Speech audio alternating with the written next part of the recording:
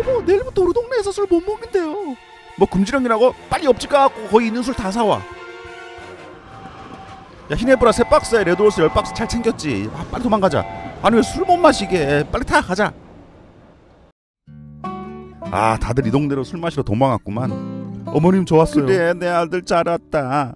아버지 빨리 한잔 어, 하시죠. 그래 저기 술상 봐놨어. 빨리 가자. Tagay hanggang umaga. 아 근데 안주는 뭐예요? 아 그냥 소금 쳐먹어.